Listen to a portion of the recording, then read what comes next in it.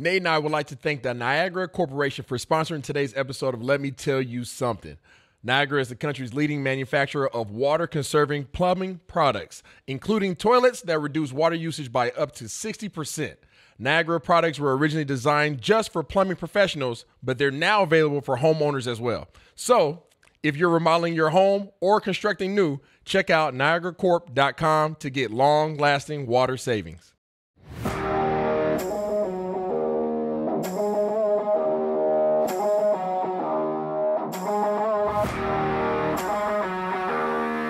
What's up, good uh, people? It's your boy Isaiah Stanback back in the building for another episode of Let me tell you something, man. It's been a while since I've seen you there. Not not just face to face or not at training camp. I seen you there, but I'm talking about back in the Dub Network, baby. Let me tell you something. Yeah, we back in here. we back in this piece, Nate. Dog. Yeah. We had a little hiatus because you and I have been a little occupied, and uh, we had to take our time Yeah. because we were over in training camp, 2023 training camp for the Dallas Cowboys. That's where Nate, Dog, and myself were residing for the last month.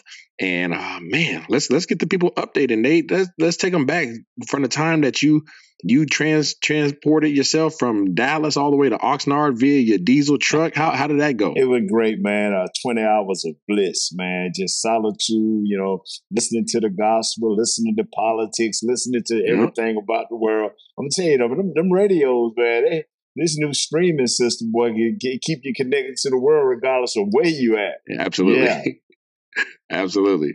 Well, we hit we did have opportunity to hit one show while we were out there at training camp. We were able to have a guest on there and he pretty much interviewed us. So that was pretty awesome to to have that on there on the platform. But from that time, Nate, there is there was three preseason games, at least for the Dallas Cowboys, that took place.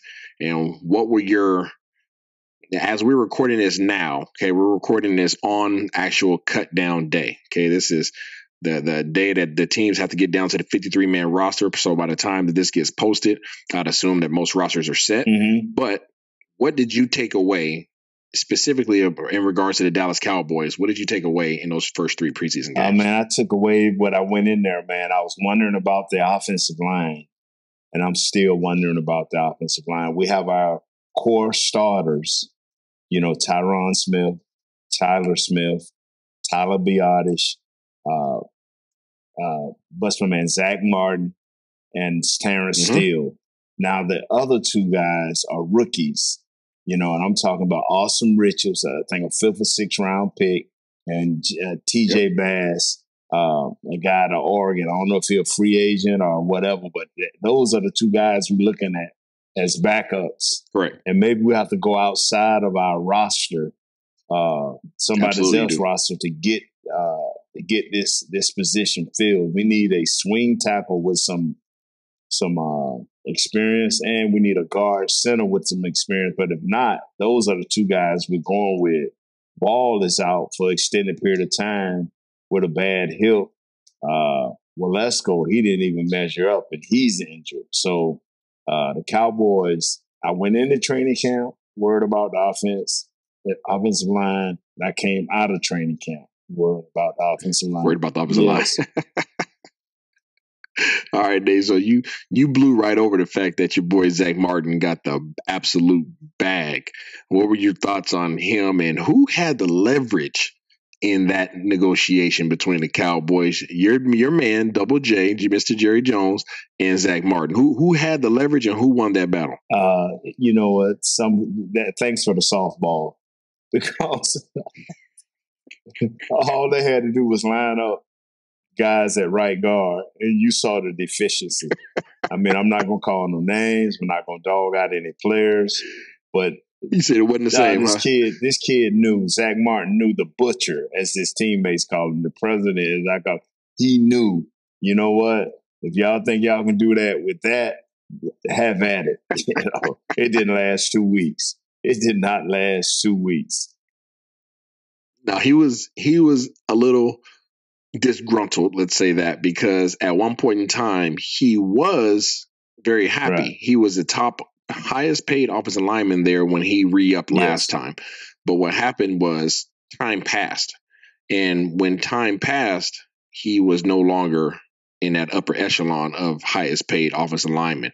Um, as I think he was what three three or four years into his I think three years into yes. his contract to his his extension, which places him I believe he was six million dollars underpaid for his position at this time that he decided to hold out of training camp. So I felt like he had every right to to do that. And it's a controversial conversation, Nate, because what when guys re up their contracts and they get an extension, they sign a contract. Yes. And when you sign a contract in any industry, I don't care what industry you're in, that's a that's a that's a law abiding contract. And you expect both parties to uphold their end of the bargain. But people are arguing that NFL players are starting to become quote unquote prima donnas because they're not upholding their end of the bargain. What is your thoughts on that? If you're you go back, you, you're Nate Newton in today's game, and you sign a five year extension, and you're the highest paid because you're the you're the best guard in football, and then three years down the road, you know, guys are getting bigger, better deals because that's just what happens. It's evolution. Guys get more money, the market gets reset every year. Do you feel as if you have a right to then break the contract that you agreed upon to go ahead and now renegotiate in the middle of your agreed upon contract for more money? If if both parties, meaning the NFL and I'm talking about all 32 teams, upheld their end of the bargain on every situation, on through every contract, then I would say uh, players should uphold theirs but neither side upholds the contract. Once the mm guaranteed money is gone, that law abiding contract they sign normally gets those guys released or or management asks for less on money. Uh, yeah. So there's no loyalty on on either side. Uh, people say this would change if it was guaranteed money. Uh, I don't know the NBA seems to be d- doing well for its contracts. They don't ask for more money or less money. They may ask to be traded, but the money is never an issue. So if the money was guaranteed, guaranteed maybe uh, both yeah. sides would have to stick more to what they were saying or how they was doing it. I see what you're yeah. saying there. I am torn because as a business owner I get it from the owner standpoint. I make a contract with you, we negotiate, we both agree that this is the rate today and in the future based upon this contractual obligation. Yes, we have agreed, we've signed. So, from the ownership standpoint, hey, you signed this. You know, you signed this. If you were so conscious about what may happen in the future, maybe you should have negotiated some escalators in your contract. Or maybe you should have negotiated some guaranteed percentages based upon the top paid guy at your position. And those are automatic escalators that that are triggered when other guys, you know, get make start making more money. I don't know, Nate. That's what I would do in today's game. From the player standpoint, you you want to get your value. Yes. If you're still playing at your peak and you're still playing at the best of your position, you should get paid as such. But the the issue is you agreed to something, yes. right? And you know they should say what was the old school saying, Nate? Your your word right. is your bond. you not only was your word your bond, but your signature was your bond. And when they gave you that bread and you signed on that line, you agreed to that. This is what I agreed to make today and when I look however many years down the road on on that same contract, it it tells me right now what I'm going to make in the future, and I'm okay with that until I'm not okay with that. Okay, well, and, as an owner, as yeah. an owner, and as a businessman, uh, uh, in our business, the NFL business, what all sports is, it's called a cut. It's called a release. Mm-hmm. Do you now, as Correct. an owner, do you feel like I, okay, this is my fourth year. You still owe me on this contract another thirty-five million dollars. Why would you cut me? you. you will you will you mm-hmm. will you as an owner stick to that, or will you go and say, "Hey, you're not as good as you used to be. Can you take less?" And if I say no, would you still give me my thirty-five mil for the next two years? hey, I, hey, very, very valid point, and that's why this is such that's a what, controversial so discussion. That, that's, that's where a, you're torn at, right? absolutely, because I mean, from that standpoint, yeah, the the ownership they want to cry wolf when guys want to re up their right. contracts and they want to go ahead and lean on it and say, well, you agreed to this and this was, you know, this was in the best interest of the team and da da da da da. But from the point that you just brought up, Nate, yeah, you you don't. It's one sided contract right. from the player standpoint because outside of my guaranteed money that we negotiate, nothing's guaranteed. Nothing is guaranteed. I can get hit by a car tomorrow. I can get, you know, somebody can make an accusation right. against me and I have bad press. And if it's not fitting for the team, then you will cut me in a heartbeat. And to your point, Nate, regardless of the contract that we both obliged mm-hmm. to, you don't have to uphold your end of the bargain. But if you decided to retain me, I would have to uphold my end of the bargain. So why do you have the out, but I don't have the out? And that is where players have, unlike when we played, we had no other choice but to go along with the system. These players don't feel they have to go along with the system. Uh, that word uh, that we use or that saying, your word is your bond, that went out of the window about 15 yeah. years ago. Um, mm. Men, women, young children, the world don't follow that creed anymore. That my word is my bond. Yeah. Only when you make me mad, only when I'm feel I'm being disrespected. that's when that, that, my word is my bond. Come on, man. Come on, you'll change. Yeah, you yeah. you'll change how you you change bonds in the middle of a hot dog if you had a chance. Don't do that. Yeah, yeah. All right, all right. So Zack Martin, and for those just just to go over the contract terms, he was scheduled over the next two years, the 2023 season and the 2024 season, he was scheduled to make $27.5 million. And that would have placed him, I think, around 10th for right. his position. Yes. It was around there, yes. Nate.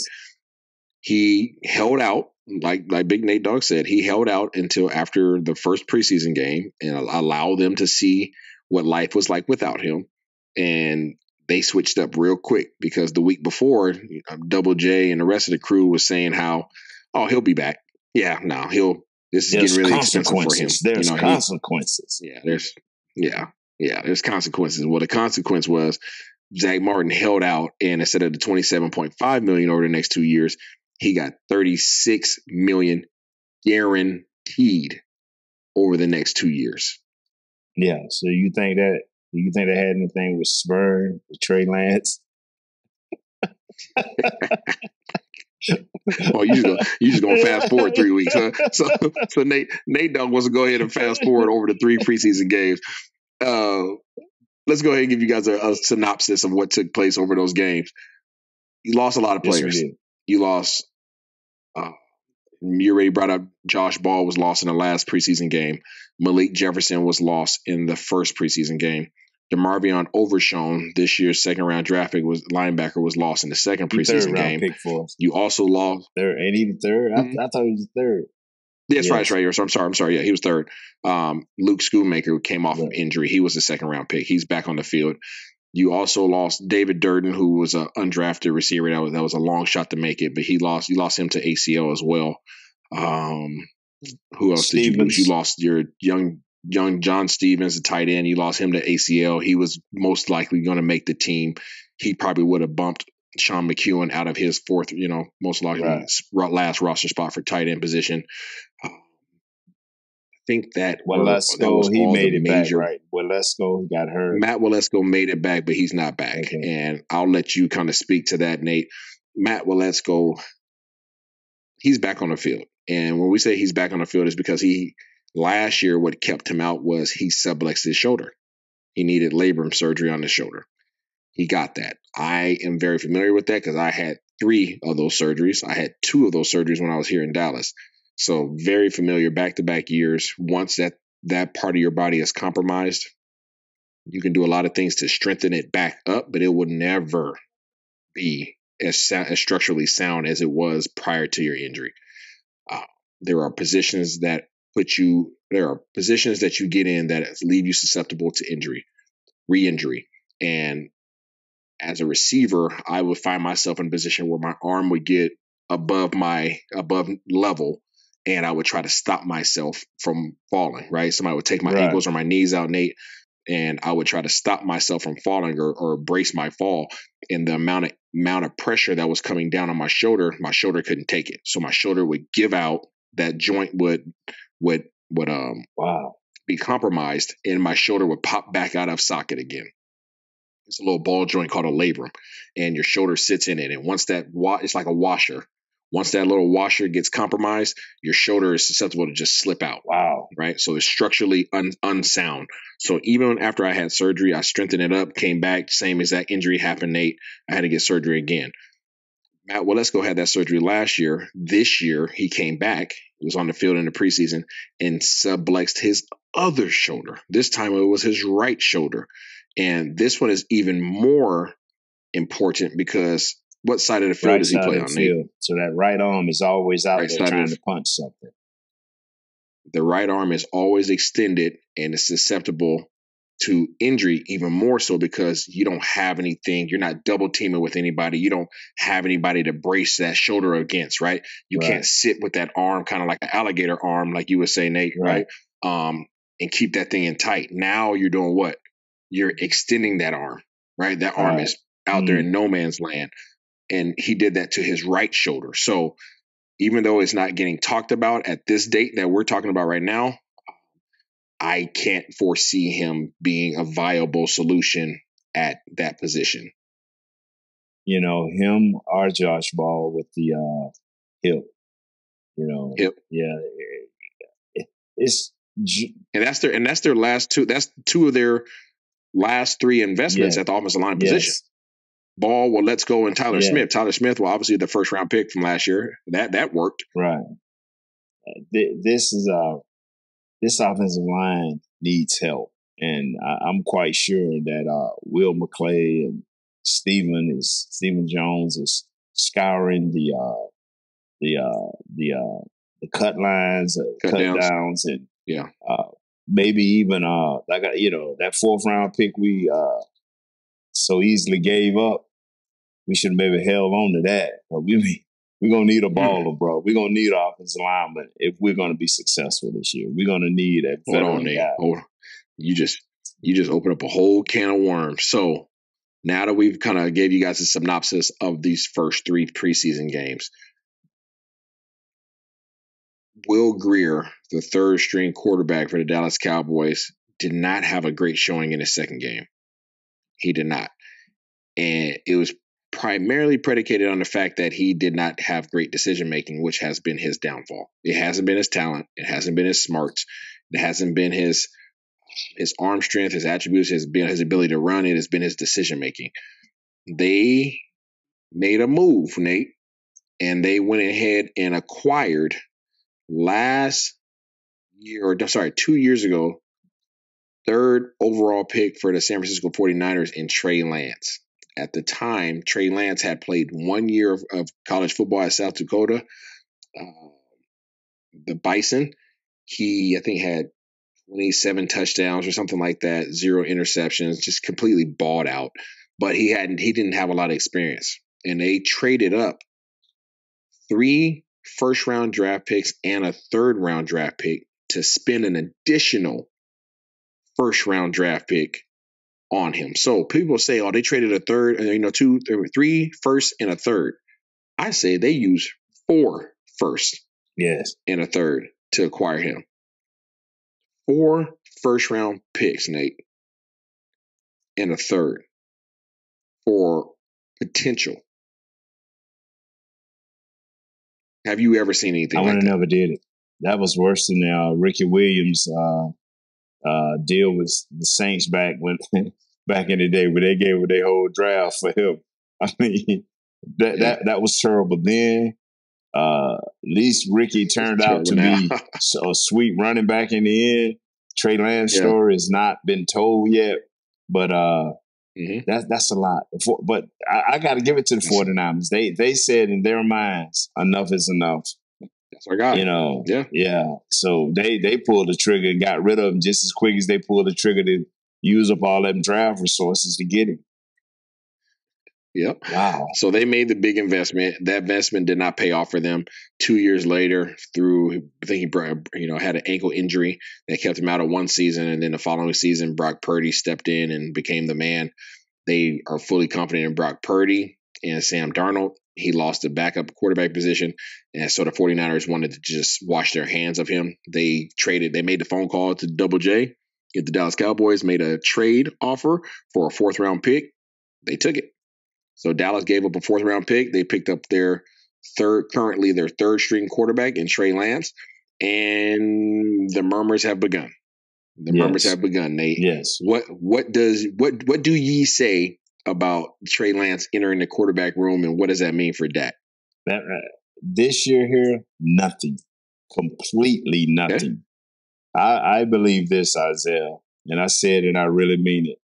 If something happened to Dak within the next four to five or six weeks, and Will Grier has not been picked up, I, I mean, have you checked the waiver wires? Uh, if Will if Will Grier has not been picked up, that will be our second team quarterback. It will be Cooper Rush as a starter. They will bring back Will Grier because it will be an injustice to do this to Trey Lance. You know, and I, I don't care how quick a learner he is, how great he's supposed to be, what his potential is. Why would you do this to this kid? Why would you give him a, a fourth round pick and not let him sit the rest of this year as a as a true uh, journeyman, a guy who's learning the system, a guy who's uh, getting uh, acquainted with the team. So this means yep. nothing this year. Where the big picture comes is uh, during the off season. How will right. he soak up the playbook? How much will he learn? How much will he know? And more importantly, when will the, the, the true negotiations start for Dak and his extension? Now, it may play a role in that, but other than that, that's what I was going to ask you. May play you, a role. Do you that. think this Trey Lance? Do you think that this Trey Lance move is going to mess with Dak's money? Uh, not as right now. I can't see it because this kid okay. has not been seen on the field since that one year in college when he had that fabulous yep. year. He's not been seen. He's been missing in action. So uh, even if they uh, just trying to throw a little salt in the game, it's not enough to change what's going to happen, especially if Dak is successful this year. You saying it's no sea salt, huh? Yeah. It's coarse, it's coarse salt out there. yeah, I mean, where do you see Trey Lance at this point this time? I think he's a undeveloped quarterback who is in a position to to be molded to what the Cowboys want, mm-hmm. and he is a physical specimen of an athlete. Yes. He is a pure athlete, and if you could take a pure athlete yes, while he is undeveloped and while he is still impressionable mm-hmm. and you can get your hands on him, you might be able to develop a monster. Right. And I think if you can develop a monster for a fourth round pick, I think you and I would do that all day long. Nate. Yes. I think the fact that the one thing that causes us apprehension is that we know the weak spots of Dallas. And if Dallas was to solidify these couple weak spots they have, they would be a mm-hmm. force they would be they, they would be a complete force this year because this is really an all or nothing year for them. This is really really is. Uh, things are going to change based upon what happens this year. This roster will not be the same. And you see that wonder behind me. You see that wonder behind me on the right. I do. That yes, that's sir. how big the Cowboys window is. It is huge, and it is a one year deal. I mean, you do you disagree? Did, did, did, did see that window? That window right there is yes, is wide open. I can throw my fat self through yep. it. That's how much room the Cowboys got. If they don't take advantage of that window, it's gonna close down, and it's gonna be a lot of things shaking and baking after this year. You know. Yes, I agreed. So you don't mind. So you like the acquisition of Trey Lance. You just don't like it in place of the necessities that Dallas still yes, has. we we we need offensive linemen, my man. And this will be a yeah. masterful job for Coach Mike Solari, but it's going to be a hard job. I mean, uh, he's got a lot of energy, man. I was just like to see by the eighth or ninth game but our record is, and see if he still have this amount of energy. If we have any, see if he we have juice. any injuries. I, I feel, you know, I love Coach Solari. You know, you you've known him. Yeah, Uh, he's a, been a Seahawk guy, and we we know him. And uh, he's a hard worker. He's diligent, but he he's working with five linemen. He don't know what these young guys gonna do. Yeah. He don't know. I mean, correct. and we brought in Edoga. Uh, he ain't. Yeah, Edoga, he ain't yeah. practiced since I don't know when. When I He mean, was injured. Is he still with us? I mean, for us, I know he's, He's on injured. the team, Yeah, he's injured. but I ain't seeing. You know, I'm I'm looking for him. Tell tell him I'm looking for him. Yeah. He's injured right now, Nate. There's um there's a lot up in the air, man. It's a lot up in the air. Um, but as they try to address these questions, and obviously, you know, we won't know prior to this show airing, but we'll get another show in to be able to talk about the moves, Right. the, final decisions that the Dallas Cowboys made. But they have some tough cuts. They have some tough decisions. They have an opportunity prior to the deadline to make some trades using some of their assets they have on the defensive line specifically, because I believe that's the only position that they have assets that they can trade. Yes. Hmm. And if they, if they, you know, I think they've been very aggressive, more aggressive than we've seen in the past in this offseason. And I think if they continue that with the, you know, keep, as we like to say nowadays, Nate, keep that Right. energy. Uh, if they're able to keep that energy and be aggressive to go out there and acquire some offensive linemen or offensive line man or men, either one, we'll take either. Um, I think they will position themselves for an excellent opportunity at a run at this at getting the doggone ring, and that ring would be so sweet. No, I'm not. I'm not. I'm not going that far. I know you're not I'm going there. I know far. you're not going. I'm just. I just think about it.